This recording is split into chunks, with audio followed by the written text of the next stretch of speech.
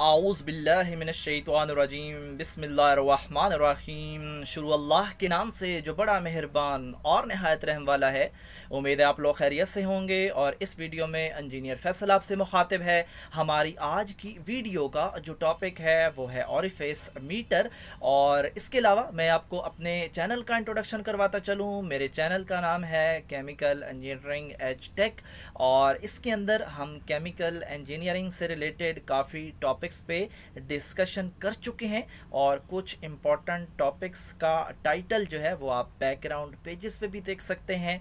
और इसके अलावा आप मेरे चैनल को सब्सक्राइब करेंगे बेल का आइकन प्रेस करेंगे तो मेरी हर लेटेस्ट वीडियो आपको मिलती रहेगी। आज की वीडियो में हम बात करने जा रहे हैं ऑरिफेस मीटर की और ऑरिफेस मीटर से मिलते जुलते कुछ मीटर्स हैं, जिनमें वेंचरी मीटर है, इसके अलावा फ्लो नोज़ल मीटर्स हैं और ये तीनों जो हैं, ये एक ही काम करते हैं, इनका टारगेट एक ही है और ये मैयर करते हैं डिफरेंशियल प्रेशर को। हम डिस्कस करने जा रहे हैं ऑरिफेस मीटर को और इससे पहले हम वेंचरी मीटर को डिस्कस कर चुके हैं और नेक्स्ट वीडियो होगी फ्लो नोजल्स मीटर की। ऑरिफेस मीटर की डायग्राम को देखते हुए आगे चलते हैं। तो ये जो सेटअप है, ये एक टिपिकल मीटर ट्यूब है विद इंस्टॉल्ड ऑरिफेस फिटिंग्स यानी कि इसके अंदर ऑरिफेस जो प्लेट है, वो फिट की हुई है और ये फिटिंग के बाद उसका ये सारा सिस्टम जो आपको नज़र आ रहा है, ये कॉम्प्लिकेटेड सिस्टम है। और इसके अलावा अगर हम इसके पार्ट्स को देखें, जो इसके सेंटर में है तो ये एक ऑरिफेस मीटर का एक पार्ट है। है, जो हम उसको फिट करेंगे एक पाइप के अंदर और फ्लेंजेस की मदद से ये पूरा जो हमारे पास असम्बली है, इसको पाइप के साथ फिट कर देंगे और पाइप का जो फ्लो है, वो यहाँ पे ये जो ऑरिफेस अवेलेबल है सेंटर में, इसमें से पास होगा और फिर वो हम जो है वो चीज़ें मैयर करेंगे, जो कि हम जिसको हम डिफरेंशियल प्रेशर कहते हैं, वो हम मैयर करेंगे। और इसकी जो थ्योरी है, इसके अकॉर्डिंग जो ऑरिफेस मीटर है, ये क्रिएट करता है प्रेशर ड्रॉप को। यानी कि हम जो है वो फ्लो मालूम करने के लिए ख़ुद ब खुद एक प्रेशर ड्रॉप पैदा करते हैं और एक रिस्ट्रिक्शन के ज़रिए पैदा करते हैं और उस रिस्ट्रिक्शन की जो जगह है वहाँ पे ऑरिफेस प्लेट को फिट कर दिया जाता है और यही जो ऑरिफेस प्लेट है, ये एक रिस्ट्रिक्शन के तौर पे उसके फ्लो के सामने आती है और वहाँ पे प्रेशर ड्रॉप पैदा करती है और ये जो प्रेशर ड्रॉप है, ये हमें फ़ायदा देता है और इसके ज़रिए हम मालूम करते हैं उसका फ़्लो तो कौन कौन सी चीज़ें मैयर कर सकते हैं? हम ऑरिफेस मीटर की मदद से यहाँ पे चार चीज़ों की लिस्ट अवेलेबल है और उसमें से पहली है कि volumetric flow rates of fluid को हम मैयर करते हैं। इसके अलावा हम प्रेशर ड्रॉप को भी मैयर कर सकते हैं। इसके अलावा हम फ्लो रेट को भी मैयर करते हैं और इसके अलावा behaviour of the fluid moving through the pipe यानी पाइप्स के अंदर जो फ्लूड मूव कर रहा है, उसके बिहेवियर पे अगर हमने रिसर्च करनी हो तो ये चीज़ भी मालूम की जा सकती है और ऑरिफेस मीटर के ज़रिए। और अगर हम उसके वर्किंग की बात करें कि वो किस प्रिंसिपल के तहत काम करता है तो ये भी बर्नौली थ्योरम के तहत काम करता है। और इससे पहले जो हमारे पास था पिटर ट्यूब वो भी जो है वो इसी बर्नौली थ्योरम और के तहत काम करती है। और इसका एक सिंपल सा मेथड है सिंपल सा रिलेशन है कि जब वेलोसिटी और जो प्रेशर है, इनका जो रिलेशन है, ये यहाँ पे यूज़ हो रहा है। क्योंकि हमें पता है कि जब वेलोसिटी और प्रेशर जो है, वो एक दूसरे के इनवर्सली प्रोपोर्शनल हैं। यानी कि जब प्रेशर कम होगा तो वेलोसिटी ज़्यादा होगी। जब वेलोसिटी ज़्यादा होगी तो प्रेशर कम होगा। तो यही असूल यहाँ पे भी अप्लाई होता है। अगर हम इसको एक थ्योरी के तहत अरेंज करें तो हम लिखेंगे इफ़ द वेलोसिटी इंक्रीज जब वेलोसिटी बढ़ जाती है और जो फ्लूड होता है, उसकी डेंसिटी जो है वो कांस्टेंट रहती है तो फिर क्या होता है? फिर जो है वो प्रेशर या एलिवेशन मस्ट डिक्रीज तो प्रेशर का या जो उसकी हाइट होती है फ्लो की, वो कम हो जाती है और वो डिक्रीज हो जाता है। उसका प्रेशर डिक्रीज हो जाता है और ये रिलेशन हम पहले बता चुके हैं कि जब एक चीज़ इंक्रीज होगी तो दूसरी डिक्रीज होगी। वहाँ पे वेलोसिटी क्योंकि इंक्रीज हो रही है, इसलिए यहाँ पे प्रेशर जो है वो डिक्रीज होगा। और इसके नतीजे में हमें यही चीज़ मिलेगी increase in velocity must decrease in pressure एक चीज़ इंक्रीज दूसरी डिक्रीज और इसी चीज़ से हम फ़ायदा उठाते हुए और फेस मीटर से हम, ये जो ऊपर हमने लिस्ट दी थी, ये तमाम चीज़ें हम मालूम कर सकते हैं। स्टार्ट में हमने कहा था कि ये जो ऑरिफेस मीटर है वेंचरी मीटर है और जो नोजल्स मीटर्स हैं, ये तमाम के तमाम जो हैं, वो डिफरेंशियल मीटर हैं तो हम ये क्लियर करते आगे चलते हैं कि इनको डिफरेंशियल मीटर क्यों कहते हैं। जैसा कि नाम से ज़ाहिर है कि जो डिफरेंशियल है, इसका मतलब है डिफरेंस और डिफरेंस तभी आता है जब हमारे पास कोई दो वैल्यूज़ मौजूद हों और उन दोनों को सब्ट्रैक्ट करके फिर एक फाइनल रिज़ल्ट हासिल किया जाता है। और इन मीटर्स में ये दो पॉइंट्स कौन कौन से होते हैं और कहाँ कहाँ पे मिलते हैं तो इनको देखते हैं कि जो पहला पॉइंट है, ये फुल साइज़ पाइप डायमीटर से हमें हासिल होता है, यानी कि जब फ्लूड इंटर होता है पाइप के अंदर तो उसके फ़ौरन बाद ही तो वो जो ऑरिफेस प्लेट है, हम फिट नहीं कर देते। हम थोड़ा डिस्टेंस के बाद जाके फिट करते हैं। तो उससे पहले पहले जितना भी एरिया होता है, उसको हम एक फ़र्स्ट पॉइंट कंसिडर करते हैं।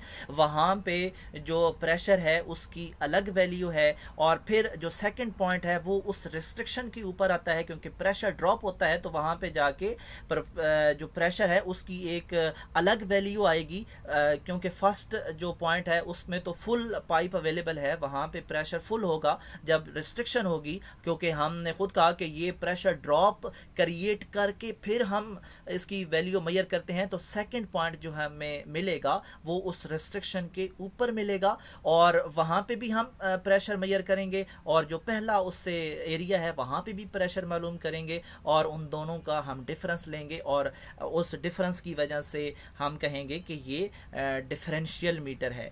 और ये बात आप समझ चुके हैं और यहाँ पे डायग्राम में भी आप इस चीज़ को देख सकते हैं।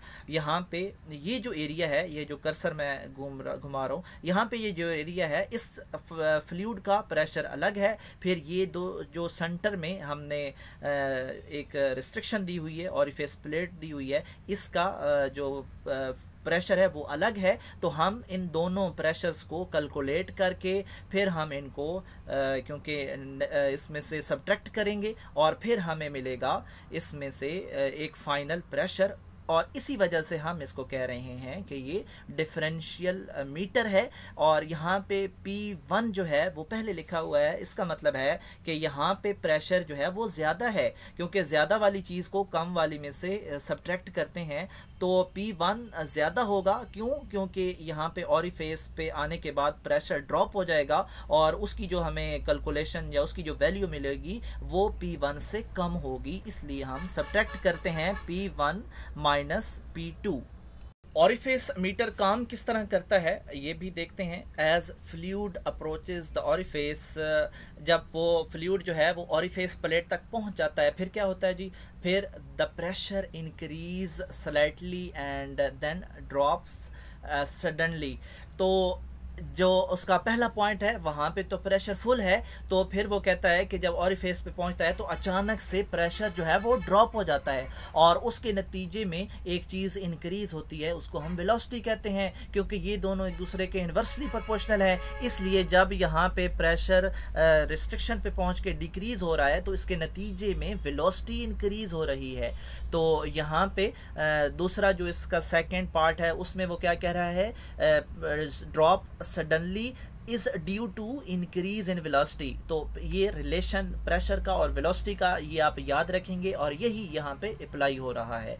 As the fluid passes through the orifice और बिल्कुल जब वो पास कर रहा होता है तो ये दोनों पॉइंट्स हमें हासिल होते हैं। यानी कि प्रेशर ड्रॉप मिलता है हमें वहाँ पे और उसके नतीजे में वेलोसिटी इंक्रीज होती है। और ये यहाँ पे आप डायग्राम में भी यही चीज़ देख रहे हैं और इसके अलावा एक वीना कॉन्ट्रैक्टा का पॉइंट है। ये भी हम डिस डिस्कस करेंगे आगे जाके, और ये आप उसकी डायग्राम्स देखें, और यहाँ पे जो नेक्स्ट स्लाइड है, इसमें भी एक डायग्राम है, ये भी सारी की सारी जो हैं, वो ऑरिफेस प्लेट्स जो हैं, वो फिट की गई हैं। तो यहाँ पे भी जो डायग्राम है तो इन डायग्राम्स दिखाने का मतलब ये है कि आप प्रैक्टिकली देख सकें कि इनकी फिटिंग किस तरह होती है।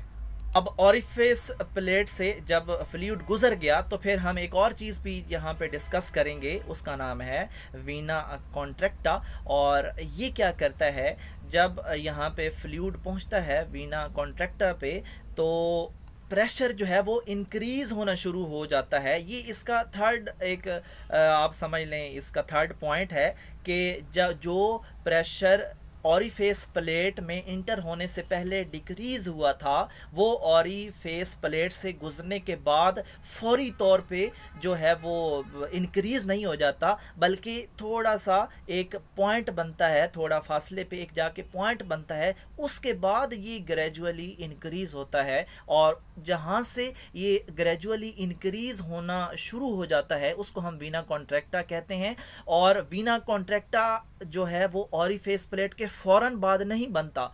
इसलिए थोड़ा सा इसके जो है वो डिस्टेंस होता है ऑरिफेस प्लेट से, इसलिए इस पॉइंट को हम वीना कॉन्ट्रैक्टा कहते हैं। और इस डायग्राम में भी आप देख रहे हैं कि ये जो ऑरिफेस प्लेट से निकलने के बाद जो फ्लूड है, ये फौरी तौर पे ये चीज़ जो है प्रेशर इंक्रीज नहीं हो रहा, बल्कि वीना कॉन्ट्रैक्टा के बाद ये जो हमारे पास एरोज हैं, इनके एंगल में चेंजिंग आनी शुरू हुई है। इससे पहले जो है वो स्ट्रेट है। और इसी पॉइंट को हम बीना कॉन्ट्रैक्टा कहते हैं, ये दूसरी में भी आप ऑब्ज़र्व कर सकते हैं इसी चीज़ को। यानी कि ये जो यहाँ पे लेयर्स आ रही हैं, जब इनका एंगल जो है वो इंक्रीज होना शुरू हो जाता है तो तब जाके उसी पॉइंट को हम वीना कॉन्ट्रैक्टा कहते हैं, और तब ही वो वेलोसिटी डिक्रीज होती है, और अगेन प्रेशर जो है वो जो है वो इंक्रीज होना शुरू हो जाता है, क्योंकि वेलोसिटी डिक्रीज हुई हुई होती है। तो अगेन इस एरिया में भी जो प्रेशर है, वो अब हमेशा वो जो अगर इसके सामने कोई रिस्ट्रिक्शन नहीं आती तो ये इनक्रीज़ ही रहेगा। और ये थी हमारी डिस्कशन इसके बारे में। क्योंकि यहाँ पे जो ऑरिफेस प्लेट है, ये मेन चीज़ है तो हम थोड़ा इसको एक्सप्लोर कर लेते हैं, इसकी थोड़ी डिज़ाइनिंग देख लेते हैं। तो क्योंकि यही तो प्रेशर ड्रॉप क्रिएट कर रही है तो इसके थोड़े हम डिज़ाइंस को चेक कर लेते हैं कि ये किस किस तरह हमें अवेलेबल होती है मार्केट में। तो यहाँ पे आप जो देख रहे हैं, यहाँ पे फ्लेंजेस इसके साथ लगी हुई हैं और इनको उतार के हम पाइप के साथ फिट कर देते हैं और इसके सेंटर में ये जो ऑरिफेस प्लेट है, ये जो ऑरिफेस प्लेट इसके सामने पड़ी हुई हैं, ये इस इस शक्ल की और इस इस थिकनेस की होती हैं और इनको हम क्या कहते हैं? कॉन्सेंट्रिक ऑरिफेस तो ये एक टाइप है, इसको हम कॉन्सेंट्रिक ऑरिफेस कहते हैं और कॉन्सेंट्रिक का मतलब होता है कि सेम जो है वो उनका सेंटर ऑफ़ सेंटर पॉइंट होता है। और इसके बाद जो हमें चीज़ मिलती है, वो ई सेंट्रिक और प्लेट भी होती है ई सेंट्रिक और इसके बाद जो हमें टाइप मिलती है, वो है जनाब हमारे पास सेगमेंटल ऑरिफेस प्लेट यानी कि अब मैं आपको इसके जो ऑरिफेस प्लेट है, इसके भी मुख्तलिफ़ डिज़ाइन होते हैं। तो ये भी ये भी आपको पता होने चाहिए, ये सेगमेंटल ऑरिफेस प्लेट भी होती है, ये भी ऑरिफेस प्लेट की टाइप है, और ये भी सेगमेंटल ऑरिफेस प्लेट है, यानी कि यहाँ पे ये जो सर्कल है, ये जो ओपनिंग है, ये सेंटर में नहीं है, बल्कि एक साइड पे है, और इस सर्कल ज़रूरी नहीं है कि सर्कल ही हो।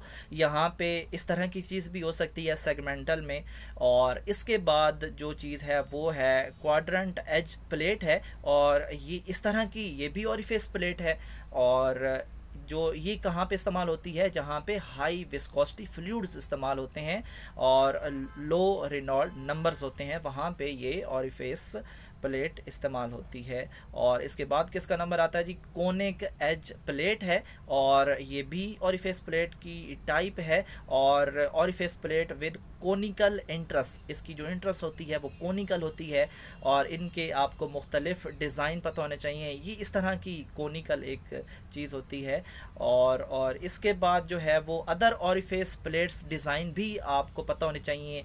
ये यहाँ पे आप देख रहे हैं, ज़रूरी नहीं है कि सेंटर में एक ही सर्कल हो। यहाँ पे आप चार सर्कल चार रेजिस्टेंस देख रहे हैं। ये मल्टी होल ऑरिफेस प्लेट हम इसको कहेंगे। और ये भी ऑरिफेस प्लेट है, इसके अलावा ये सिंगल वाली है, ये है जी centric orifice plate with individual tapping तो यहाँ पे ये जो इसके जो जो आप देख रहे हैं यहाँ पे साइड्स पे, ये क्योंकि इंडिविजुअल टैपिंग है, यानी कि हम मेज़रमेंट कर सकते हैं इनके ज़रिए अलग। और यहाँ पे ये जो एक और डिज़ाइन है, ये है centric orifice plate with chamber tapping हम क्योंकि यहाँ पे सिर्फ़ डिज़ाइन आपको दिखा रहे हैं, बाकी अगर आपने हर एक डिज़ाइन की अलग सर्च करनी है तो आप गूगल से कर सकते हैं। और यहाँ पे तो इंट्रोडक्शन हम दे रहे हैं। और इसके बाद इस तरह की भी ऑरिफेस प्लेट हो सकती है welded in centric orifice plate और इसके अलावा यहाँ पे आप देख रहे हैं orifice plate in compliance with ASME B sixteen point thirty six तो ये भी एक इसका नंबर है और डिज़ाइनिंग का तो इस तरह भी हो सकती है। और ये क्वार्टर सर्कल ऑरिफेस प्लेट है, इस तरह की भी हो सकती है। और यहाँ पे आप देख रहे हैं square and rectangular orifice plate. तो ये ज़रूरी नहीं है गोल हो, ये रेक्टेंगुलर भी हो सकती है, क्योंकि हमने तो जस्ट एक रिस्ट्रिक्शन देनी है उस फ्लो को तो उसकी शेप कोई भी हो सकती है। और ये है रेस्ट्रिक्टिंग ऑरिफेस प्लेट है, ये इस तरह की भी हो सकती है और ये जो है, यहाँ आप देख रहे हैं कि ये किसी एक इंस्ट्रूमेंट की एक पिक्चर है। तो यहाँ पे ये जो है आउटलेट्स ऑफ़ प्रेशर डिफरेंशियल यहाँ पे ये जो है दरमियान में एक रेजिस्टेंस दी गई है और इसके बाद जो है वो पाइप शुरू हो रहा है। तो ये भी एक रेजिस्टेंस है तो हमने क्योंकि रिस्ट्रिक्शन देनी होती है तो ये सारा डाटा था ऑरिफेस मीटर के बारे में और इस इसमें नई चीज़ क्या थी? एक तो हमने उसकी थ्योरी को डिस्कस किया और एक हमने उसकी डायग्राम्स की मदद से समझा और ऑरिफेस प्लेट के मुख्तलिफ़ डिज़ाइंस आपको बताए। तो ये भी ऑरिफेस मीटर का हिस्सा हैं, ये भी पता होने चाहिए। तो उम्मीद है आपको ये लेक्चर समझ भी आया होगा और पसंद भी आया होगा। थैंक्स टू ज्वाइन अस जजाकल्ला